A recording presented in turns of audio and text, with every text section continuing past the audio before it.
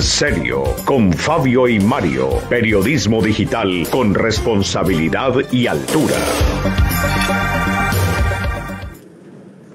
Son las 7 de la mañana, 15 minutos, amigos de nuestro portal digital informativo en serio con Fabio y Mario. Un saludo muy especial desde esta bellísima capital de Risaralda, desde la ciudad de Pereira, en este día, ya hoy miércoles 21 de septiembre de este año 2022. Déjenme decirles que Pereira amanece con un sol radiante y una mañana primaveral, la que estamos disfrutando eh, desde hacía días no teníamos un amanecer de este tipo. Qué bueno, ojalá el sol solecito nos alumbre hoy y en el resto de estos días venideros, porque el invierno realmente viene, sigue, sigue haciendo de las suyas. No obstante, se mantiene la alerta máxima por parte de las autoridades. Contarles a ustedes que hay normalidad en las vías de la jurisdicción, especialmente en el área metropolitana Pereira, Dos Quebradas, que a propósito se prepara con todo para lo que va a ser el día sin carro y sin moto, Dios mediante, el próximo martes 27 de septiembre.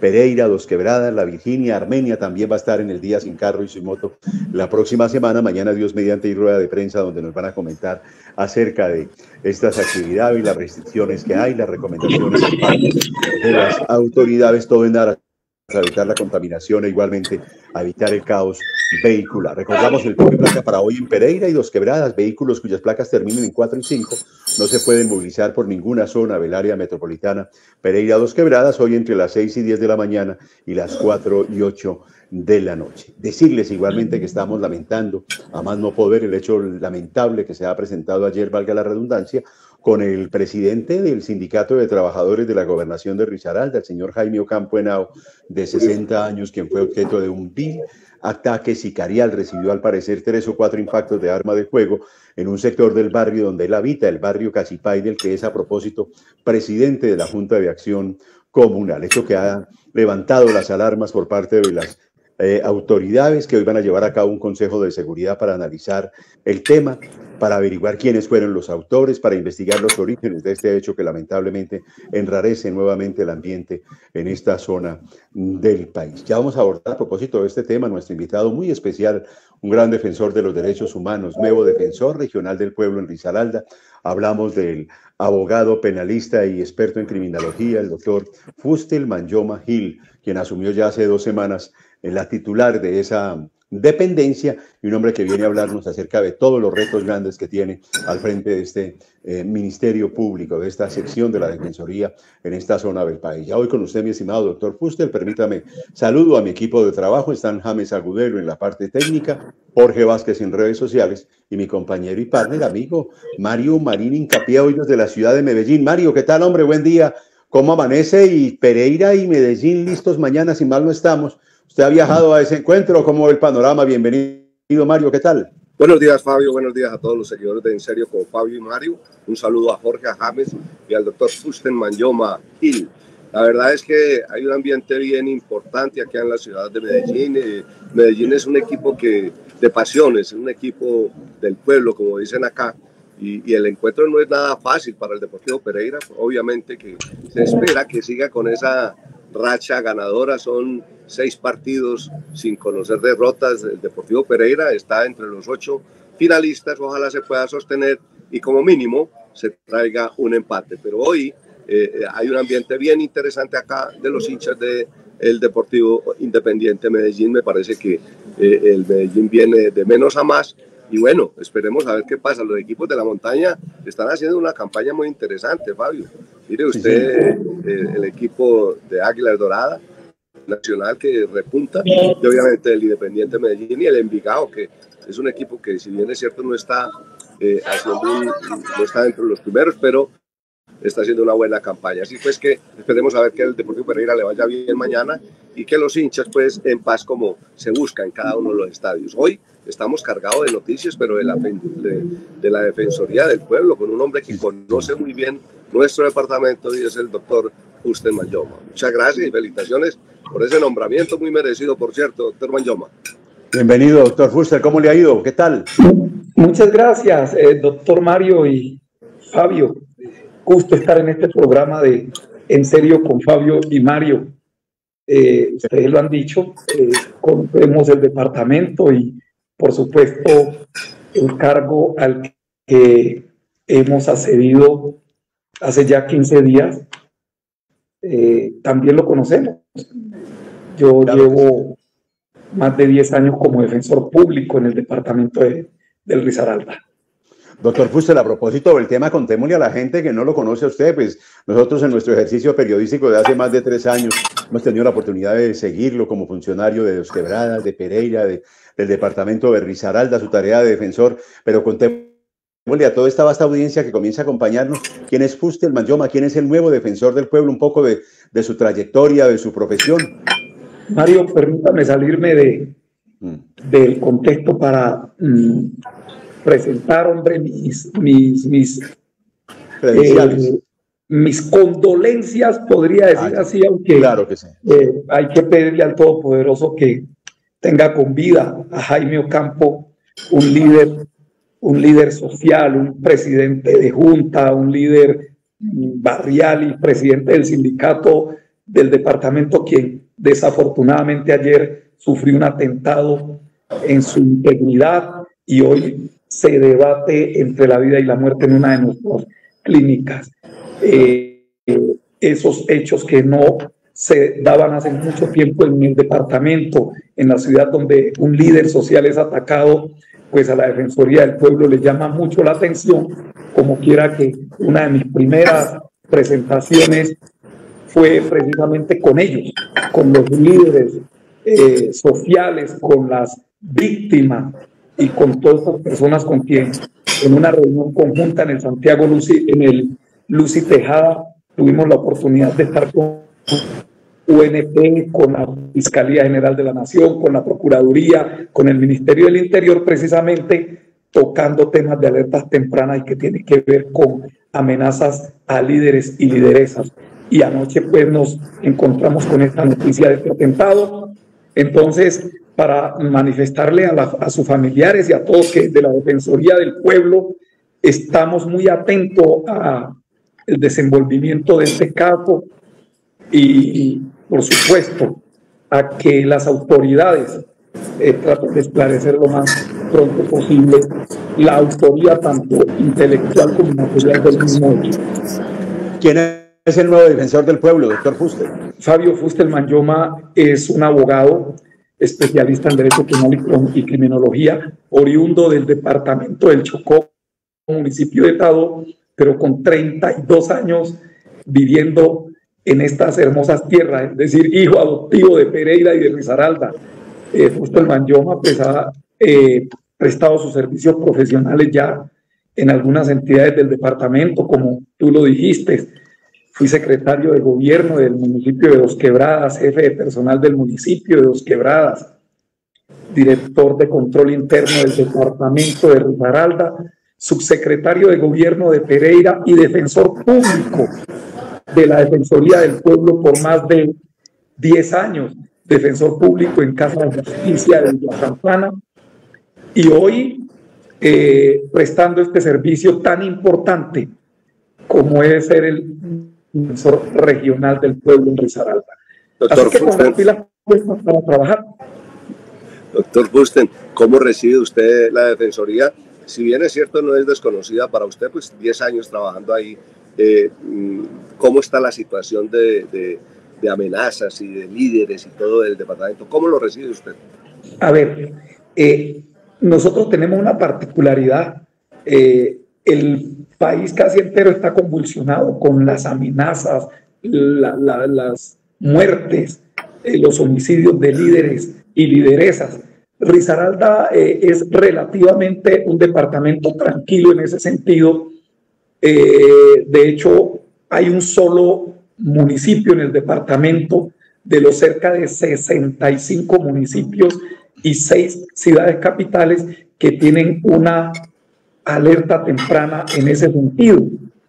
Entonces, en Risaralda tiene una unidad de, pues, de mando unificado eh, que es Pueblo Rico, eh, municipio donde estuve eh, el día anterior con las autoridades locales, inclusive tocando temas de este tipo, pero en términos generales el departamento de Risaralda es un departamento si lo podemos llamar así, tranquilo en ese sentido, eh, pero el tema como tal de lo que compete a la Defensoría, que son promulgación, divulgación eh, de los derechos humanos. Eh, venimos adelantando un trabajo, mis antecesores en este cargo dejaron muy en alto el nombre de la Defensoría en el departamento de Risaralda a nivel nacional, como quiera que es un equipo de profesionales que ha trabajado en pro de esa divulgación, esa promoción, esa conservación de los derechos humanos de los y las risaraldenses. Doctor Fuster, ¿cuenta con el personal necesario, con un grupo idóneo y suficiente de abogados defensores e igualmente la infraestructura necesaria para poder eh, administrar esta labor que le ha entregado a usted la, la Defensoría Nacional del Pueblo?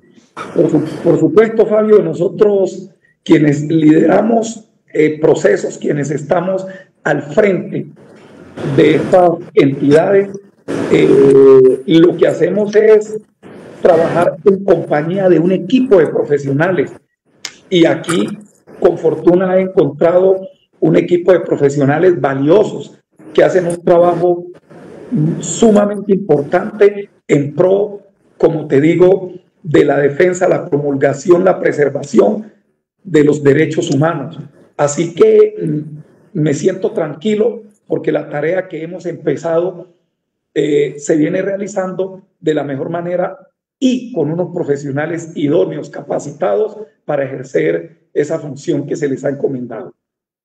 Doctor Fusten, eh, se habla en los corrillos de que hay mucho amenazado en Risaralda, pero que muchos de ellos eh, se hacen amenazar para poder obtener beneficios del Estado, en el caso de, escoltas, de carros y todo esto. ¿Es cierto o no eh, de, lo, que dice la gente en la calle normalmente?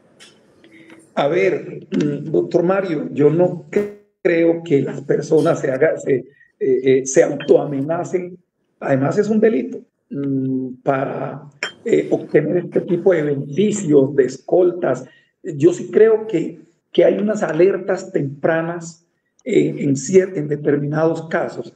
Creo que por las mismas circunstancias y las razones y las labores que desarrollan estos líderes y lideresa, eh, han venido siendo objeto algunos de algunas amenazas o de algún tipo de chantaje para que no sigan ejerciendo esa labor tan necesaria y tan importante que requiere la sociedad de sus líderes para que estén pendientes de las acciones, para que estén pendientes de, de, todo lo que tiene que ver con las acciones para vivir tranquilo y vivir mejor.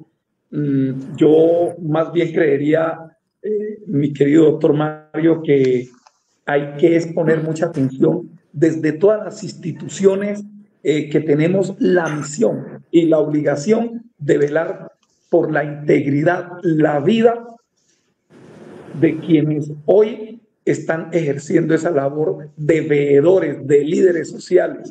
Así mm, hay que tener mucha alerta y mucha atención en este sentido.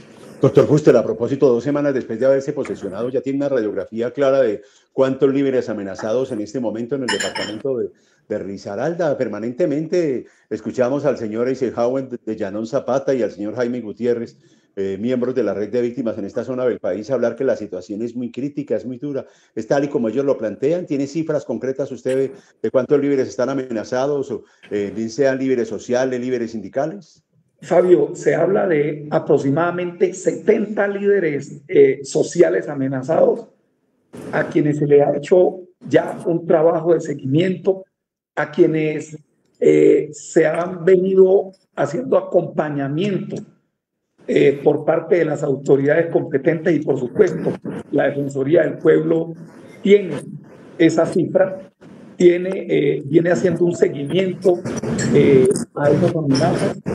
Eh, ya le digo que el viernes de la semana pasada se dio la tercera apertura de la mesa de, víctimas aquí en el despacho, donde participó el señor Eisenhower Zapata, un activista de los derechos humanos y líder social del municipio de Dos Quebradas y de, y de, y de Pereira, eh, con todas las otras entidades del orden nacional asentadas en, el departamento.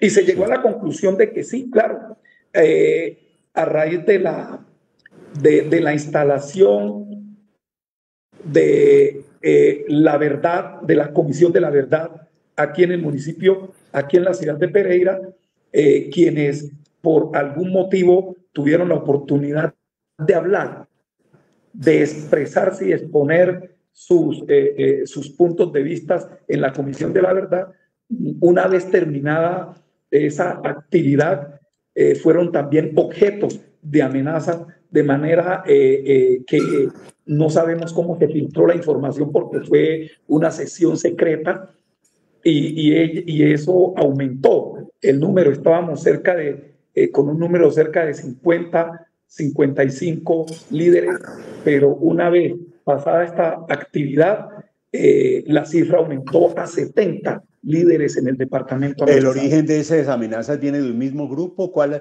¿Cuál es el común denominador de esas amenazas? ¿Por qué los están amenazando, doctor Puste? Discúlpeme, Mario. A ver, eh, eh, no te podría decir, esa es una información eh, que debe darla las autoridades competentes. Nosotros como Defensoría del Pueblo lo que pretendemos es que esas amenazas no se materialicen, que las autoridades competentes hagan lo que deben hacer en, la protección de la integridad y la vida de eh, esos líderes sociales. Pero no te podría decir eh, autoría eh, o u origen de esas amenazas, porque eso sí es materia, primero, reservada y segundo, de autoridades competentes que tienen a su cargo esas investigaciones. Doctor Husten, a usted lo conocemos como un hombre de corte social, lo conocemos como un ambientalista, lo conocemos como un hombre que le gusta el deporte, pero concretamente en el tema de la Defensoría del Pueblo, eh, ¿qué personas que mucha gente no sabe que, para qué sirve la Defensoría del Pueblo? ¿Para qué busca la Defensoría en este caso, doctor Fusten, que la gente tenga un conocimiento amplio de que ¿Para qué sirve la defensoría? Doctor Mario, se le está yendo el audio, no, no le escucho, no le escuché la pregunta. Que, que usted eh, le puede explicar a la gente para qué sirve la defensoría, por qué acudir a la defensoría. Eh, doctor Mario, la Defensoría del Pueblo eh, fue creada por la Constitución del 91 y reglamentada de conformidad con la ley 24 del, 2000, del 91, del 92. Eh, la finalidad de la Defensoría del Pueblo, como su nombre lo, lo, lo dice, es la defensa fundamental de los derechos humanos y del derecho internacional humanitario. Los derechos humanos envuelven no solo la preservación de la vida, sino también de lo que compete la vida humana y el desarrollo de la misma vida del ser humano. Es decir, la Defensoría del defiende derechos. Es la defensa de tus derechos. El derecho a la vida, el derecho a la salud, el derecho a la educación, el derecho a la alimentación, el derecho de los niños y las niñas a tener una familia, el derecho de los jóvenes, el derecho al medio ambiente, el derecho a vivir tranquilo. Eh, es decir, es la defensa, la preservación, la conservación y la divulgación de los derechos humanos de manera integral. Así que no es solamente, eh, no es solamente pretende la Defensoría la preservación de la vida y la integridad de las personas, sino también en que sus derechos, el acceso, yo decía en una reunión en Pueblo Rico ayer, a la comunidad, que es que la, eh, la omisión de las autoridades de brindar servicios públicos a la comunidad, a la sociedad, es también atentatorio contra los derechos humanos, porque es que no se puede vivir sin el agua potable, no se puede vivir sin, los, sin el mínimo de los servicios públicos que requiere un ser humano para desarrollar su vida. Sin la salud. Todo esto sin las, exacto, y la salud es una de las ofertas institucionales con la que cuenta la Defensoría del Pueblo. De hecho, ahora que usted toca el tema, quiero invitarlo, doctor Mario, y a, y a, Fabio, eh, y al programa de En serio con Fabio y Mario para el próximo 29 de, de septiembre en el Hotel Movis, donde hará presencia el Defensor Nacional del Pueblo, el, la ministra de Salud, eh, todas las autoridades de salud, invitados de las EPS, de las IPS, líderes y autoridades locales y regionales para el gran foro de la salud que se desarrollará en el Hotel Movis de la ciudad de Pereira el próximo 29 de septiembre. Allí vamos a estar y qué bueno es contar con la presencia de ustedes como medio de información local y regional. Dios mediante ya estaremos, mi estimado doctor Fuster. Doctor Fuster, Mario, mire, 273 personas conectadas en este momento a nuestro chat a través de nuestro portal digital informativo. Se acaba de dispararnos las redes sociales. Es un tema de mucho impacto. Lo están saludando John James Agubelo, saluda igualmente Urbano Noticias, Maribel Gutiérrez, nos saluda igualmente Parche Pereirano. Nos dice con el reciente atentado ya se puso en marcha un esquema de seguridad para proteger a nuestros líderes. La Defensoría ya está exigiendo a los organismos de, de seguridad garantía y especial a nuestros líderes María Pérez está preguntando, ¿la Defensoría cobra algún servicio por eh, el apoyo a través de sus defensores? Y nos preguntan aquí por el tema de las invasiones, que qué está haciendo en este momento la Defensoría con las personas que están eh, invadiendo terrenos como en la Virginia o en la plataforma logística del eje cafetero o recientemente la zona del sector de Balboa, dicen ellos predios a raíz de las anuencias que está dando el gobierno de Gustavo Petro. Vamos por parte, mi estimado doctor Fuster. Inicialmente, los servicios de la Defensoría no tienen cobro, ¿no? No, no tienen costo, la Defensoría es totalmente gratuita, la Defensoría es un servicio que se presta a la comunidad sin, sin ningún lucro, así que eh, las personas pueden venir sin ningún inconveniente económico a solicitar los servicios de la Defensoría del Pueblo. Vela la pregunta. Vela la, la Defensoría, preguntan aquí igualmente por la protección adecuada de los líderes amenazados. ¿Ustedes están haciendo seguimiento a esos procesos? Por supuesto, eh, esa pregunta fue, eh, la respondí hace unos instantes cuando manifesté que aquí se tiene un, un, puesto de mando unificado, aquí se hacen unas alertas tempranas, aquí hay un grupo de profesionales eh, que tienen a su cargo la, la, eh, esas alertas, la indagación sobre esas amenazas y en conjunto con las autoridades competentes se hace lo necesario para preservar la vida y la integridad de los líderes sociales, líderes y lideresas del departamento.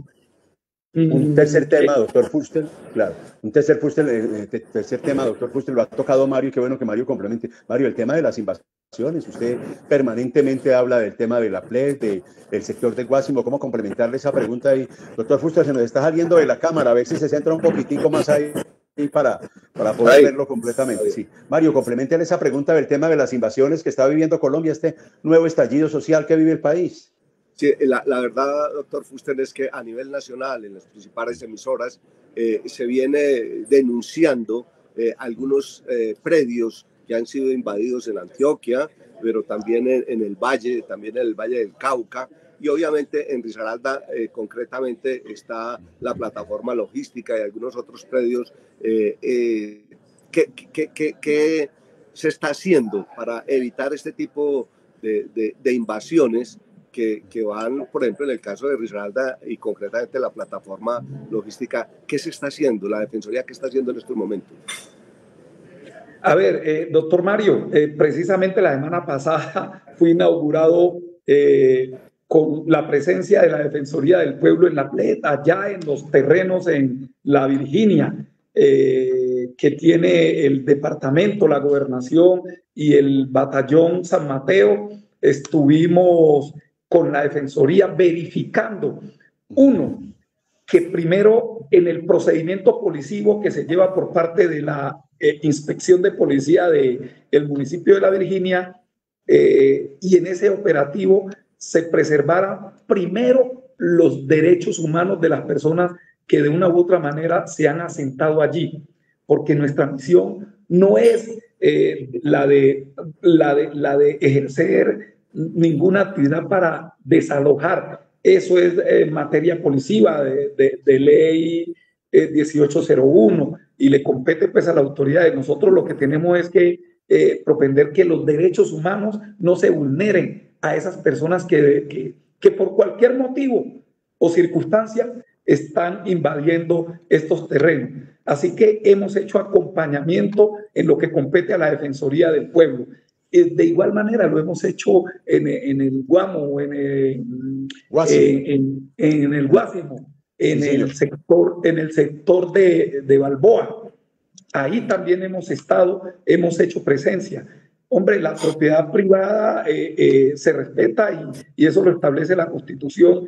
Y recuerde que los fines del Estado eh, es que las autoridades tienen que, de manera conjunta, participar en las actividades para el buen desarrollo de esos mismos fines del Estado. Así que la Defensoría presta todo su concurso para que el Estado lleve a feliz término estas acciones que se desarrollan para preservar estos terrenos que son de, del Estado o de, o, o, de la empresa. Doctor Busten, doctor Busten, el Estado como tal eh, eh, preserva, o sea, que los derechos de los ciudadanos no sean vulnerados, pero también protege al privado, es decir, al dueño de los predios, para que también sus derechos no le sean vulnerados.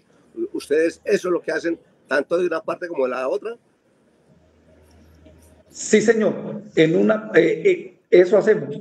Que los derechos de las personas no se vean deteriorados, amenazados por la acción o la omisión de las autoridades o de los particulares.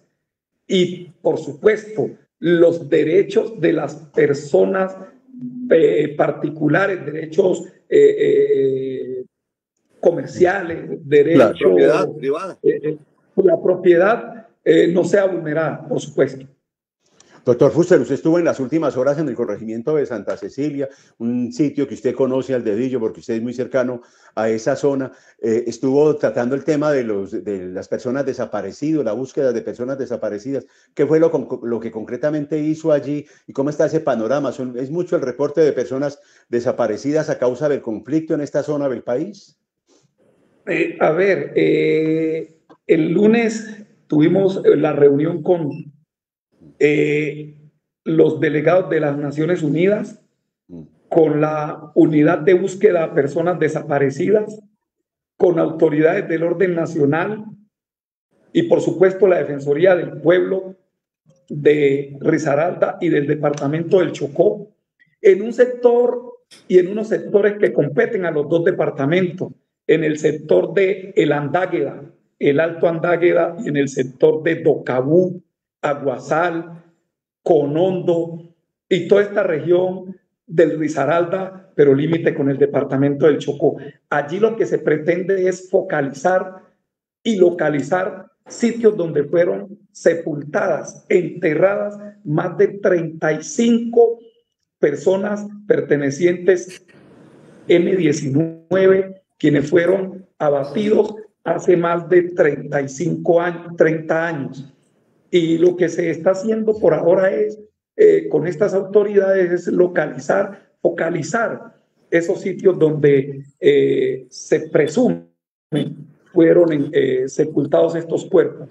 Así que ahí su presencia la Defensoría del Pueblo y esperamos que en estos días que van a estar esas autoridades en este sector de, de los, del departamento del Chocó, y el departamento de Risaralda eh, se saquen algunas conclusiones. Bueno, y el tema de la salud, doctor Fuster, la mayor cantidad de denuncias que se están dando hoy en día con los abogados defensores que usted tiene, ¿a qué apuntan? Sigue lamentablemente fallando el servicio por parte de las EPS, entrega de medicamentos, citas postergadas. ¿Qué nos tiene que decir en ese campo? ¿Cómo es el panorama en este momento para Risaralda? Una de las ofertas más o fundamentales que tiene la Defensoría del Pueblo en ATQ, atención de quejas y reclamos de, de, de, todas las eh, personas habitantes del territorio, es precisamente el tema de la salud. Desde la Defensoría del Pueblo tenemos un equipo eh, muy, muy, pero muy interesado en resolver eh, todos estos temas de la salud. Nosotros vivimos permanentemente en contacto con las EPS, con las IPS, con las clínicas, con todos estos centros prestadores de, del servicio de salud para que la, eh, la, el servicio que ellos prestan sean óptimos, sean servicios eh, que se den al instante y que por supuesto sean de la mejor calidad.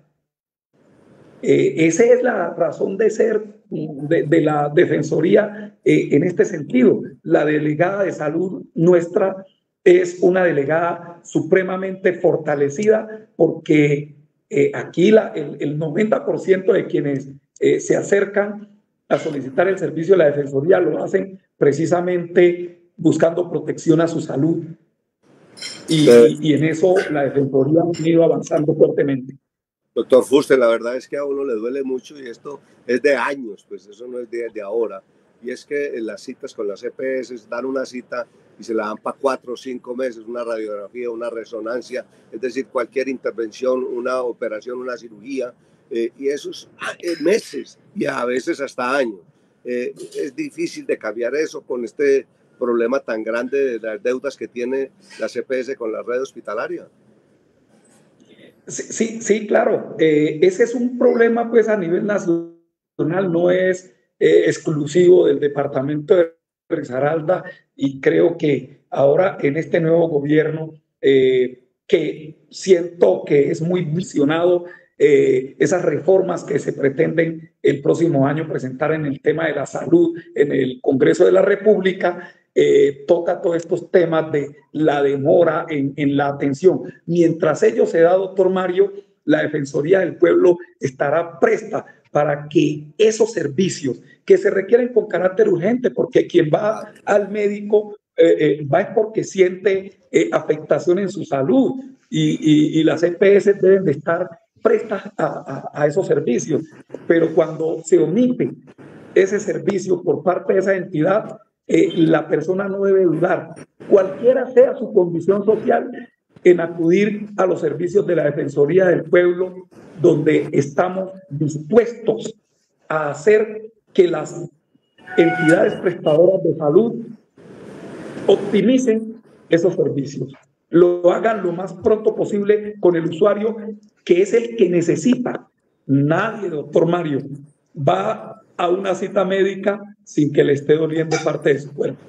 Claro que sí. Doctor Fuster, mucha tela de dónde cortar alrededor de la Defensoría. Sabemos que usted está en las primeras de cambio, que es un hombre de las entrañas de la comunidad afro, que conoce mejor que nadie el tema de la situación de derechos y vulneración de derechos humanos de su comunidad afro eh, colombiana, igualmente de, los, de, las comunidades indígenas. Usted ve esa zona vetado.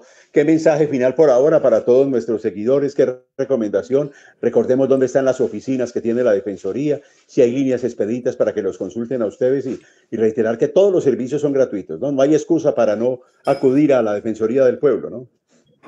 No hay excusa para no acudir a la Defensoría del Pueblo. Las atenciones las prestamos de manera directa aquí en el centro administrativo El Lago, en la calle 25, entre carrera séptima y octava, eh, los pisos 11 y 12. Eh, recuerde que aquí tenemos unas ofertas institucionales eh, importantes para brindarle a los y las risaraldenses como tú lo dijiste, Fabio, mm, es totalmente gratuita la atención eh, y el mensaje final es decirle al pueblo de Risaralda que la Defensoría del Pueblo irá a esa Risaralda profunda, a esa Risaralda donde muy pocos van.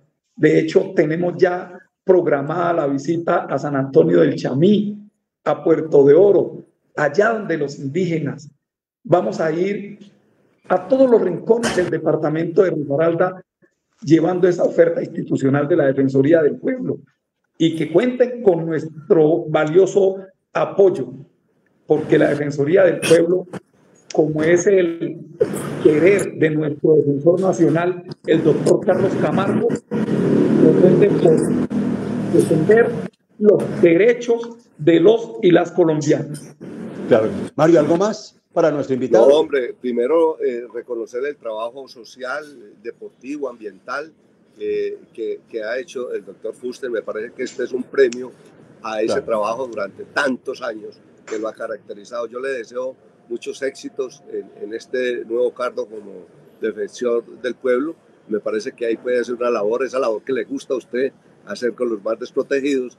Y no me queda sino eso. Felicitaciones y, y buen viento y buena mar, eh, mi querido doctor Fuster. Doctor Mario, doctor Fabio, muchas gracias y muy amable. Por aquí en la Defensoría del Pueblo estamos a la orden y dispuestos cuando nos requiera. Muchas gracias. Pedirle igualmente a usted y a su equipo de comunicaciones que compartan este link de esta información valiosa y útil que usted nos ha entregado para que la gente conozca más la pedagogía y esta clase que nos ha dado de derechos humanos durante los últimos 30, 40 minutos. Buen buen y buena mar, como dice Mario Marín, mi estimado doctor Fuster, y estamos a sus órdenes. Que le vaya muy bien. Muchas gracias. Gracias. A ustedes, amigos seguidores, como siempre, gracias por estar en nuestra sintonía. Compartan, por favor, este link valioso que nos ha entregado, nos ha entregado nuestro invitado muy especial, el nuevo defensor del pueblo en Risaralda, el doctor Fuster Manyoma. Mario, un hombre que sale de las entrañas de las comunidades negras, conoce mejor que nadie y siente mejor que nadie el dolor de su tierra, de su gente, de su pueblo, y confiamos que le va a ir bien, ¿no? Sí, claro que sí, Fabio. La verdad es que es un hombre que conoce muy bien el departamento de Risaralda se ha formado en lo social, en lo ambiental, en lo deportivo. En derechos humanos. Muy bien, de derechos humanos, claro, y es profesional eh, en, ese, en esa área. Eh, Fabio, por otro lado, quiero agradecerle a todas las personas, a los amigos que elevaron eh, las oraciones para que su señora madre estuviera bien, saliera bien librada de la intervención quirúrgica. Y bueno, eso es parte de alegría, Fabio, de corazón se lo digo, eh, porque sé lo difícil que, que es tener un ser ah, en, cuidados intensivos y, en este tipo de intervenciones que no son fáciles. Eh, me alegra mucho, pues, Fabio, que, que ya esté su señora madre en, en, piso, es decir, que ya eh, ha salido, creo yo, de, del, del, problema y, bueno, gracias a Dios, Fabio, y a, todos, que las oraciones son muy importantes. Gracias, Mario. La verdad es que el agradecimiento debe ser mío. Gracias a usted por por anticiparse en esa materia y en verdad agradecerle a todos los amigos que eh, nos, rodean en estos momentos difíciles que hemos vivido, especialmente en este último año, alrededor de nuestros seres queridos, pero ahí vamos para adelante y eso es lo que más importa en este momento. Ustedes muy amables por estar en nuestra sintonía, James Agudelo, Jorge Vázquez en redes sociales, mi compañero Mario Marín, nuestro invitado hoy, el nuevo defensor del pueblo en Risaralda Fustel Mayoma, y este servidor Fabio Castaño Molina. Cuidémonos, por favor, que la pandemia todavía está viva. Hay vacunas y no se ha hecho aplicar la vacuna de refuerzo, la tercera, la cuarta, hasta la quinta. Hay suficientes aquí en Pereira y en todo el país. Feliz día para todos. Que la pasen bien. Con el predial ganas y ahorras. Paga tu impuesto predial hasta el 30 de septiembre con descuentos. Recibe hasta el 10% de descuento en el total de tu factura y hasta el 20% adicional dependiendo del incremento del mismo de la vigencia 2021 a la 2022. Gracias. Con tu aporte Pereira se transforma en la panadería El Olaya. Los libros que quieres, tus autores y editoriales favoritas estarán del 5 al 9 de octubre en Expo Futuro, en Paisaje, Café y Libro, Feria del Libro del Eje Cafetero. Entrada libre y gratuita. Consulta la programación en www.pereirafil.com. Invita Cámara de Comercio de Pereira. Apoyan Ministerio de Cultura, Gobernación de Risaralda y Alcaldía de Pereira.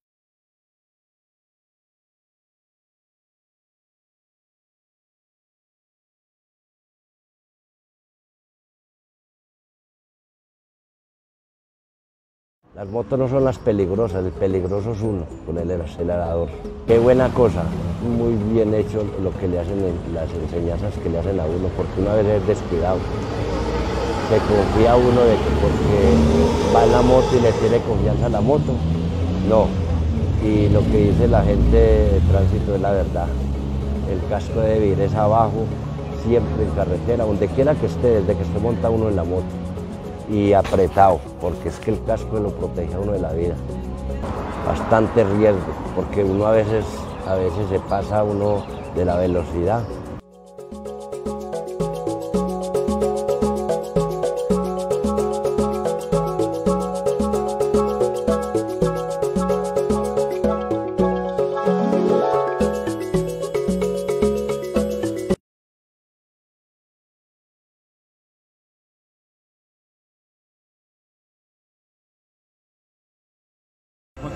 nuestro relleno sanitario La Glorita, donde se disponen no solo los residuos sólidos del municipio de Pereira, sino de otros 24 municipios aledaños o de la zona. Acá encontramos el vaso número 8, el vaso activo, donde actualmente estamos disponiendo los residuos sólidos. Vemos la operación de descarga de cada uno de los compactadores y asimismo la maquinaria que nos ayuda a compactar los residuos para alargar la vida útil de este vaso activo. Este vaso activo eh, tiene una vida aproximada de 42 meses. La invitación para todos los pereiranos y las personas que viven en los municipios que disponen sus residuos eh, sólidos en nuestro relleno sanitario es que separemos en la fuente, reciclemos. Acá podemos ver la cantidad de residuos que llega por día. En ese momento estamos viendo dos compactadores y vemos la cantidad tan grande que cada uno de estos compactadores trae. Por favor, tomemos conciencia ambiental.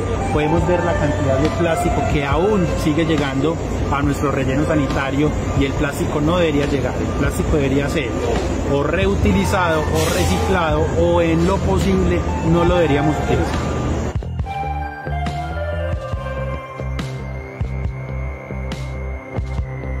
La gobernación de Risaralda, desde el primer día del año escolar, inició con el programa de alimentación escolar PAE, entregando 28.100 raciones diarias en los 12 municipios no certificados del departamento, porque la alimentación de los niños y las niñas es una prioridad.